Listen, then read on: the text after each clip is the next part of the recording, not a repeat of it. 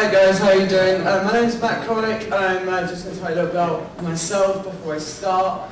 I'm actually a third year politics student and philosophy student and so when I told my granddad um, I was going to study politics at university, he doesn't like politicians, he said to me, you have to learn how to lie, cheat, steal and deceive. I said, Granddad, I'm a magician. I've been doing that for years.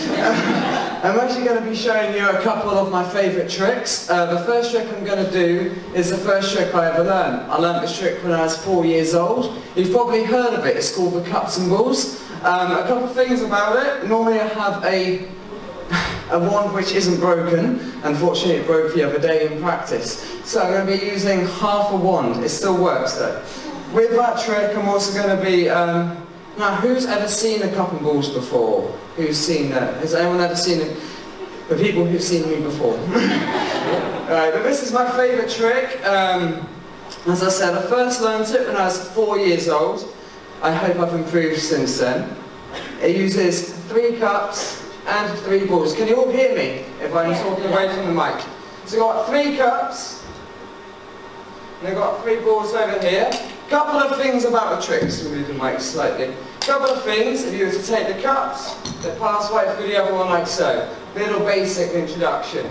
Three cups, three balls, a magic wand, and because I talk a lot, myself. Now watch the first ball over here. Oh, ball inside of the hand, you take the wand, it's gone. That's what you do. You start off. You take the second ball. Inside the hand, you tap. Gone. Third ball. Ball number three. Take it inside the hand, you tap. Do you mind standing up for me, please, sir? Do you mind standing up for us? Do you mind placing your hand inside your right jean pocket? Are they in there? Of course we're not, you silly Wally. Sit back down.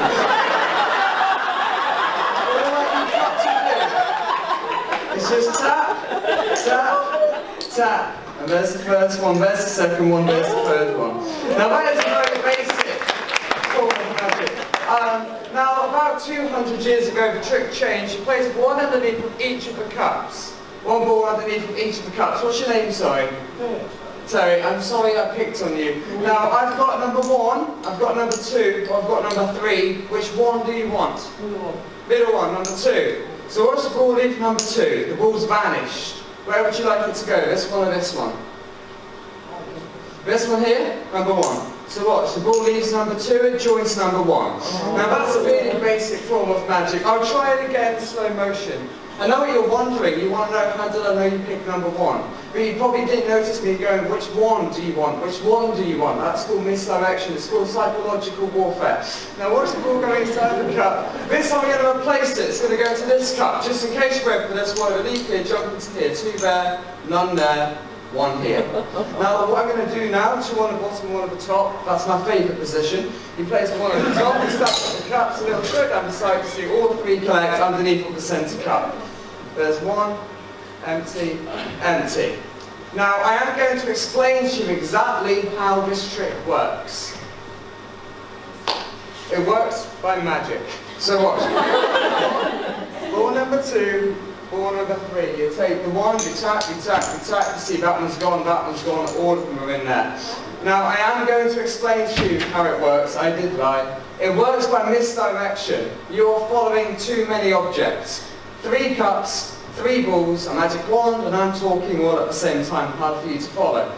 So watch, one ball underneath each of the cups. I'm even going to get rid of the wand. What I'm going to do now, I'm going to get rid of one of the balls, make it easier for you to follow. Ball number one, inside my pocket. Ball number two, inside my pocket. How many balls are left in the game? One, and it's underneath this cup. Remember, one ball, that cup. Big question though, why is this ball over here? I'll explain it to you. See, the ball never goes inside of my pockets. I only pretend to place the ball inside of my pockets. It's called misdirection. you think that the ball's going inside my pocket, but it never leaves the hand. I could do this all day. Now you see the ball's over here, there's nothing underneath the cup. All I've got to do is just drop the balls, pick up the cup, create the illusion there's a ball underneath the cup the whole time, you stupid audience. Now how many balls are underneath of the cup over here?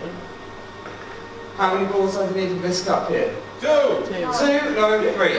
Now watch all three. As all three go inside of my pocket, how many is underneath of the centre cup? Huh? No. No, a giant ball. one over there, one either side, and because magicians have a tendency to make things vanish, we carry the extra one just in case. And that is the mystery of the cups and balls.